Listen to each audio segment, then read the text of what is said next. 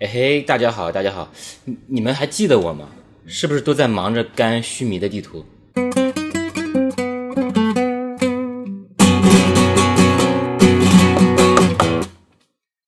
是不是有点肝疼啊？之前呢，就有我的粉丝建议我拍一期我的各种乐器的介绍，当时呢，我就想先拍一期我的 plugin instruments，其中就包括各种各样的吉他、呃曼陀林还有尤克里里这样的，呃，然后再拍一期竖琴类的。竖琴就包括各种各样的大号的小竖琴、小号的大竖琴、中号的中竖琴，还有包括那个温迪弹那个琴我也有，呃，然后再拍一期，比如说管乐类的，然后还有乱七八糟的打击乐的这些。然后这一期呢，我也先卖个关子吧，先不详细介绍我的这些乐器。这期给大家介绍一位我很喜欢的 UP 主，他是一名只弹吉他的一个 UP 主，他也演奏了很多原声的音乐，叫做 Jason 杨家胜老师，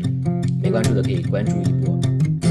可能在很多小伙伴们的理解中呢，吉他可能分为两类，就是电吉他和不插电的吉他。不插电的吉他又叫原声吉他嘛。可能对于嗯大部分人来说，不插电的吉他呢也分为两类，